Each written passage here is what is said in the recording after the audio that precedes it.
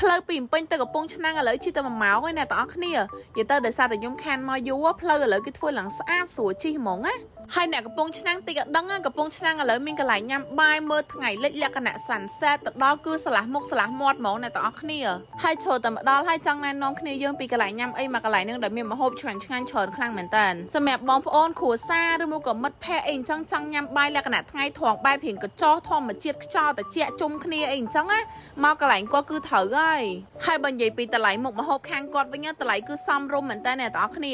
មានចាប់ពី4 5 6 7ដុល្លារតាមមុខម្ហូបខាងគាត់ជាក់ស្ដែងអញ្ចឹងណាតម្លៃសមរម្យបរិមាណម្ហូបទទួលយកបានហ្មងកន្លែងគាត់ណាបើនិយាយពីប្រហុកអាំងជ្រុយនេះវិញគឺលេខ1ហើយគឺប្រចាំហាងរបស់គាត់ហ្មងអ្នកទាំងអស់គ្នាដូចយើងទៅញ៉ាំនៅសៀមរាបអញ្ចឹងណាជើជីទៅដល់សៀមរាបអីអ្នកទាំងអស់គ្នាមកកន្លែងគាត់បានសំបីតែថៃដៃញ៉ាំជាមួយនំបញ្ចុកជាមួយទឹកប្រហុកដែលគេល្បីនៅខាងសៀមរាបហ្នឹងក៏គាត់មានដែរអជាប្រភេទមាន់ដុតឈ្ងុយឈ្ងុយស្រួយស្រួយញ៉ាំជាមួយនឹងបុកក្រងជាមួយលក់ខ្ចីខ្ចីអីហ្នឹងណាអ្នកទាំងអស់គ្នាអើយញ៉ាំជុំគ្នាគឺជាតិហ្មងខ្ញុំនេះថាថ្ងៃលិចទៅវាស្អាតតែកន្លែងរបស់គាត់ថ្ងៃទៅតែលិចហើយលក្ខណៈហៀងផឹមផឹមមេឃហៀងពណ៌ស្វាយអីអញ្ចឹងអូយថតជ្រុងណាក៏ស្អាតដែរអ្នកទាំងអស់គ្នាកន្លែងរបស់គាត់គាត់ប៉ិនរៀបចំហ្មងគាត់មានដើមឈើទូយដើមឈើធំអីអញ្ចឹងទៅ